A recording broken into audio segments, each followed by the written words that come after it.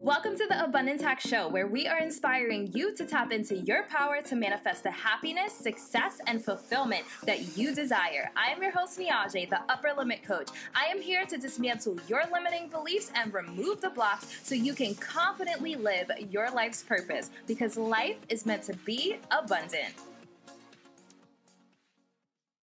Hey M&Ms, thank you for tuning into the Abundance Hack Show. Today I am joined by Sarah Buino and she is the founder of Head Heart Therapy. And before we get into what that is, what does abundance mean to you? What does abundance mean to me? Um, it's the it's absolutely the way that I live my life. I am not into scarcity, into competition. I think there's enough for everybody. And so abundance is I'm I'm always thinking about um, connecting. Like that's my number one thing. I think my superpower is like connecting people who need to be connected with each other, and I, I find that to be an abundance practice that repays me a, like a million fold. So yeah, abundance is everything. I love it. Yeah. I love it. Yeah. That's one of the things we focus on is not having a scarcity mindset right. on this show. It's really, really mm-hmm. important. So we are actually here at the podcast movement convention and 2019 a mutual friend connected us and i'm so glad that they did. And when i first saw her the first thing that i noticed was her crystal earrings. So i'm just like i know i know we have some good stuff to talk about. So tell us about you. Tell us what heart head heart therapy is yeah. and how you got started. So I am a psychotherapist and an addictions counselor, and so Head Heart Therapy is a group practice for therapists in, in Chicago. So there are, I think, 10 of us now, and we, we serve a lot of people who struggle with addiction issues as well as, you know, anxiety, depression, eating disorders, all sorts of things. And I do, I founded that company, but I do a little bit of everything. so I run Head Heart Therapy. I also teach at a couple universities. I teach about addiction to, um, to young social workers. I'm a social worker by trade. Uh, and what else do I do? I'm a Reiki master. I sing in a band on the weekends, and I'm super into crystals and all of that shit. Can I say shit? Yes. Okay, great. Because I cuss a lot. I forgot to. We forgot to mention that. Yes. Um, oh, and I have a podcast. What am I thinking? The most important thing to not forget, because we're at a podcast conference. Um, my podcast is called Conversations with a Wounded Healer, and so I interview other people in caregiving professions about doing your own work while taking care of other people. Yeah, that's so important. That's yeah. so important. So, what inspired you to get into this work? My crazy family. I mean, truthfully, if a therapist isn't honest about the fact that they went into this field to fix themselves, they're lying. because, I mean, we all come by this honestly, right? So, my family was fucked up, but really from the outside you couldn't necessarily tell.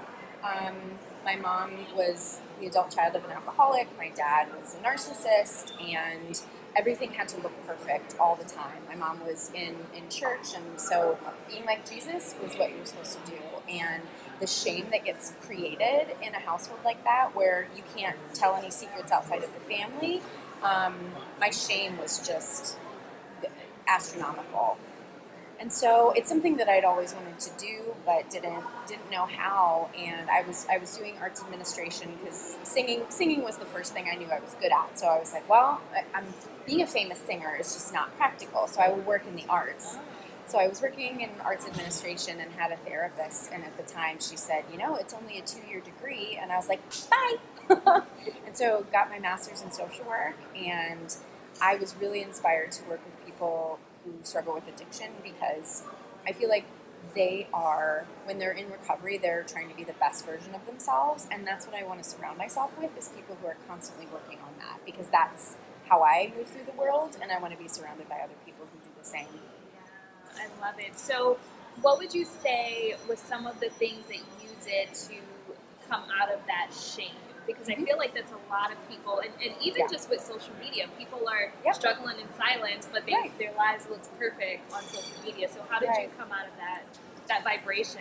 Yeah, well, I wouldn't I wouldn't say come out of it. So, um, are you familiar with Brene Brown? Of course. Okay, so I'm trained in her shame resilience work. Okay. I saw her speak in 2009, literally like the day after I finished my classes for social work, and I, I followed her ever since. And so when I first saw her speak, I was like, A, I want you to fix me, and B, I want to be just like you, right?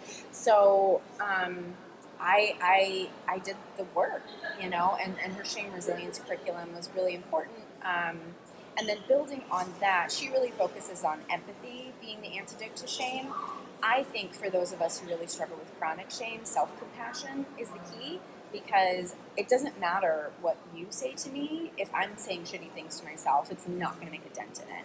So self compassion is huge. Uh, I also um, I don't like to call myself a Buddhist because I don't feel I'm qualified to do so, but I'm very I'm very aligned with Buddhist philosophy, and so all of all of the ideas that surround that really help me work through shame because it's I feel like Buddhism has a very good understanding of people are flawed, people struggle, and that's a normal part of life. And how do we how do we work through this without just saying like, oh, I'm a sinner and I have to ask somebody else to take that sin away from me? So that's that's been really huge for me. Yeah. Have you ever seen that chart of like the different frequencies or like vibrations? Because I know like shame is like one. Oh wait, what is it? What's it called? It's um. I don't the know. power of. Oh fuck! What's that book? I read that book and I was like, "Holy shit!" Yeah, yes, it's shame is the lowest. Yeah, so Yeah. shame and guilt is like a really Yeah. low vibration. Yeah. And so trying to raise your vibration to Mhm. joy, to Mhm. love, and Yep. you know stuff like that. And then a, Mhm. a light enlightenment is the highest one. Yes. So Power versus force. Mm, That's yes. what the book is Yeah. called. So if you were dealing with someone that was in that low frequency, Mhm. What what are some ways that you know if they can't go through Brene's Brown program, for example, Mhm. what are some ways you would recommend them pulling themselves out of that low vibration, raising their vibration? hmm Uh, I think community is super important. Having people around you, because empathy is the initial antidote to shame. Having people around you who can understand what you're going through and not try to fix it. I think that's a huge mistake that a lot of people make. Like if you share something sad with me, it's uncomfortable for me to sit with that, and if I can't fix it, because a lot of our our own self worth is based on what I can give to you, you know, how valuable I am in the world. Um, but we need people to just sit with it. So I think community is important. I don't think we can do this work in isolation. So that would be my first tip. And I guess secondly, then cultivating the willingness to practice self compassion. I think that affirmations are bullshit. Oh, Yeah, I didn't expect her to say that. Did you I see know. my face? I know.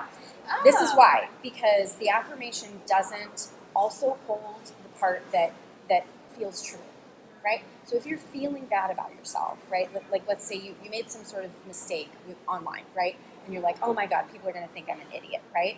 If you just give yourself an affirmation, you're not actually giving space to that feeling of being of being bad, and that space needs feeling to move. It needs space to move through so that you can release it Yeah. when we're just putting affirmations on top of it, it's just a, it's just a symptom fix Yeah. rather than an actual like getting at the root of the problem. Yeah. So this is why I mean I, I think everybody should go to therapy because a therapist can really help kind of you know okay these are my symptoms but how do I get underneath what's causing this? Shame is what causes it, right? And so how do we how do we continually work towards um, shame resilience and self compassion? So the other piece of this is I, I, I hear a lot of people who feel like everybody else deserves it, but I don't deserve self compassion. That seems to be like a pretty common issue for people with shame. And the question that I ask it because I do groups a lot, so I'll ask in the group, you know, so does any is there anybody in here who doesn't deserve love and belonging? And of course, everybody be like, no, everybody deserves it. So like, how could you be the one person who doesn't deserve it? And if you can at least buy into that idea, then there's a little bit of space open for self compassion. And it starts by changing the language of the way that you talk to yourself. So we have to recognize the way that we're talking to ourselves, and that's something that we don't necessarily often do. You know, we just kind of go. So I'm a huge proponent of meditation because meditation is going to build those neural pathways so that you have that like capacity to look outside of self. So meditate, meditate, meditate, meditate, meditate, meditate. Um, it's the one thing I like force people to try try to force people to do. Yeah. Um, so yeah, so I think community, meditation, willingness to open to the idea of self compassion, and holding at the same time that you are going to feel bad about yourself sometimes, and that's okay. That's normal. If you never felt bad about yourself, you would be a sociopath or a narcissist, and nobody would like you. So, if you have bad feelings about yourself, you're in good company. Yeah, so I, I do I do love affirmations, but if you only have affirmations, Yes. it's a band-aid. yes. You know, it's masking Exactly. the problem and Yes. I think there's a lot of spiritual bypassing right now Yes. where people are just like I can't have any negative thoughts, I can't have anything negative Right. around. And I, I think that it takes practice to be able to Yes. be around, you know, a negative situation and not allow it to lower your vibrations. But Well, we can't have a high vibration all the time. True. Right? Like, Yeah. and, and, and just knowing that, I think, you know, the, the idea that we have, if we've had a high vibration before, we have capacity to do that again and not beating ourselves up for when we go down. Because when you're sick, your vibration goes down. When you drink, your vibration goes down. Like, you know, all of these things that, that are just going to happen and, and we shouldn't shame ourselves or feel bad about that. Abundance Box is more than a subscription box. It's a movement. Not only are you sent spiritual goodies to your doorstep, it's a commitment to yourself to not settle, to live to your full potential and manifest the life that you truly desire. For more information, go to abundancehack.com forward slash box to receive crystals, sage, therapeutic grade essential oils, guided meditations, and access to the private Facebook group to connect with other awesome members of the Abundance Box tribe. Join the movement because life is meant to be abundant. I think it's really powerful what you said as well about not trying to fix it when people come to you. So like holding space, Yeah. like holding space for people to be able to talk. Because sometimes they don't want you to fix it. Like a lot of times we have to fix ourselves. So just holding that space without judgment for someone just to express how they're feeling. That's really important. Yeah, I was at dinner with some folks last night, and one woman told a story, and the, the woman who responded was a therapist, and she's like, "So, are you looking for um, for compassion or solutions?" That's a great question. Great question to ask people if somebody shares something with you. Like, what is it that you need from me right now? That's what I usually ask. Like, if my husband is venting, what would you like? What would you like from me? Do you want a hug? Do you want me to beat someone up? I don't beat people up, but I say that I will. Yes, she does. Yes, she does. if you are listening, you have to tune into the video so you can see her awesome mohawk. It is purple and pink and green and So- blue. Like, it's amazing. the last time I got my hair done, I decided that I was gonna model it after crystals. So this is fluorite. You can't. It's Oh it's faded. I have to get it done again on Sunday. I, I love it even more now. Right? Oh goodness. Yeah. I love it. oh my god, I'm in love with your hair. Okay. All right. So I'm like, let me focus now. Okay. So your your company, mm-hmm. Head Heart Therapy. yes, So what what's your mission statement for that? Like what? what's your unique goal? unique therapy for unique people is the tagline. I love that. Yeah, because I don't look like your typical therapist, and the clients who originally came to me would would say that they'd say, "I feel like you're going to understand me better because you have colored hair, or because you have a nose ring, or tattoos, or whatever." So we really tried to cultivate a space where everyone feels really seen and heard and understood. Um, you know, we also, I, I had everyone trained in Reiki a couple weeks ago, so everyone understands energy healing. We had an anti racism training because that's really important to me to, to be anti racist. You know, we all share our pronouns because we want to, you know, be a safe space for LGBTQ and, and plus, plus, plus, plus, plus. Um, so that, that's the mission is really everyone is welcome. I love it. Oh, I love it so much. Thanks. Okay, so do you do any like online group stuff or is it just in person? just in person, uh, I'm trying to figure out. Part of what I came to the conference for was figuring out how do I how do I do marketing in a different way. And one of the things I've been considering is what's my product. You know, what can I even give people? And so maybe maybe groups is online groups is a, a way to do that. So I don't know. stay tuned. I'll let you know. I'll let you know because it, it's interesting. You know the, you know, owning your own business, you're always working, and so I'm trying to figure out like how do I balance my life. How do I do the things that I really want to do, but I still have to manage my business because that's what actually funds all these things. Because this shit ain't free, guys. shit ain't free. We don't get paid for it. We're trying to, but it's hard. It's a really hard Yeah. business, and so I'm just I'm trying to balance all the time. Yeah. And what, what's the name of your podcast? Conversations with a wounded healer. Okay. Yes. So, Conversations with a Wounded Healer, definitely check that out. I love everything that you're about. So, I have to know what is your favorite crystal? My favorite crystal. I feel like it changes from time to time. Lepidolite was was one that I was really working with last year. I went through some business trauma and that one like being all about self-love, like I just carried it with me all the time. Right now I'm into Super 7. Do you know the Super 7 crystal?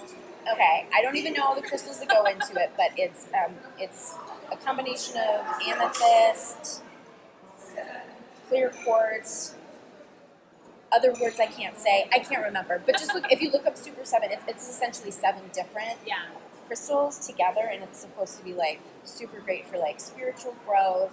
And that's I'm kind of in this stage right now where I know I'm on the precipice of healing some really deep transgenerational trauma with shame, truthfully. Um, and so that crystal, like I've got one in my little box with my podcast cards, and I've got a bigger one at home that I meditate with. So that's what I'm into right now. But it, it changes, right? Because Yeah. it depends on what you need at the given time. Yeah. There's, What's yours? There's one. So, I just purchased, I, I want to say it's called Augate. I don't know, but it's something 23, and it's supposed to be 23 different crystals. That's my newest one. And it looks like an amethyst. So, it's like, it's purple. But, so when I saw it, I was like, this is an amethyst. Hi. And he's like, no, it's not. It's, you know, this has like all these other Oh my things god. in there. Yeah. So 23. So I'm gonna look up yours. Yeah, yeah, yeah. Seven is one of my favorite numbers. Yeah. So Yep. Yeah. All seven men will watch them fall. Prince, God bless you. So yeah, I love amethyst. My whole Mhm. living room, like the theme is amethyst. I have a Mhm. huge amethyst The birthstone. Oh, nice. Aquarius. Yay! I love it. So I get along really well with Aquarius. Like all my best friends have been like Aquarius. Yeah? Yeah. When's your birthday? In January. Okay. So you're Capricorn. Yes. Mhm. Okay, so I can sit here and talk to you forever, but I know that we have limited time. So, what are your top three tips for living an abundant life? Ooh, top three tips for living an abundant life. Um, I don't remember. Did I say about? Did I talk about connecting already? Or were you talking about that? Yes, I did. I already said that first. So, top three tips of living an abundant life. Um, you get what you give. I mean, I think that's just like that's it. It's that's just the the one. Um, and I always I try to be aware of what my motivations are, like underneath certain feelings, like what's happening for me right now. And there, there are definitely times where I've been in spaces where I start to feel jealousy or envy, and that's not abundant, right? That would be the opposite of abundance. And so when I'm feeling that way, I try to really check in with what's going on, and it's fear, right? It's fear of there not being enough space for me and this other person who's doing something great as well. And so I really just have to kind of tune back into that, and I I really do hold the belief that there is enough for everybody, and I guess sometimes I forget. And so just continuing to, to remind myself and and to like give myself compassion for being afraid because that's again like a human experience, and so it's okay to do that. So yeah, I just I that's that's just how I roll. So I guess it's only two, but I'm not a very good like bullet point person. So maybe I should work on that. I don't know. Give us feedback. Let me know. So, where can people find you online? My website is www.headhearttherapy.com, and the podcast is on there too. So it's headhearttherapy.com slash podcast to check it out. And the podcast is on, you know, Spotify, Apple Podcasts, all those fun places. I'm gonna try to start doing like Facebook Lives and Instagram. Our Instagram is Head Heart Therapy, and my dog. We were talking about our dogs earlier. My dog is this derpy little dachshund, and I've always thought he should be famous because he's just ridiculous His looking face. He's he's so cute. his face. So I started making memes, like therapy memes, out of him, and I think it's brilliant. I'm just gonna say. So find me on Instagram, like all of Oscar's posts, I love it. Oh, I wish we had Oscar here. But check out the video and we will insert some photos. So yes, good, good. Oh my goodness, thank you so much. Thank it has been a pleasure. I'm so glad we were connected. Me I too. love your hair. Love it so much. and she also has on purple highlight, you guys. Like literally she's fabulous from head to toe. It's, it's amazing. it's amazing. Thank you. All right, so I will have all of her links in the show notes. And until next time, love and light. Thank you for tuning in to the Abundance Hack Show. I would love to hear from you. Leave your comments and questions, and don't forget to subscribe so you don't miss any of our yummy episodes. Every time you leave a five star rating or review, I do my happy dance.